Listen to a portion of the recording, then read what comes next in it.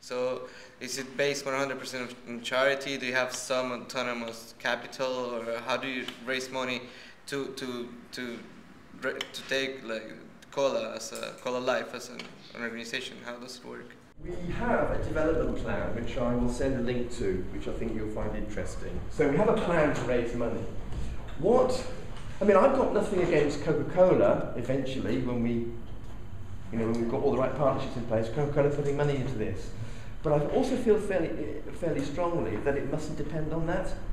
So you know, I think Coca-Cola should fund a large part of what we want to do next. And what we want to do next is run independently evaluated trials, which will require building the prototypes, manufacturing the AidPods, and then seeing how the system works in a particular locality and, and independently evaluating that.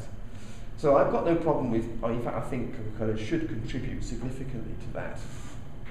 But after that, it's, not, it's never going to fly, it's never going to be sustainable if the whole system depends on an ongoing requirement for Coca-Cola to put money in, because they just won't do it.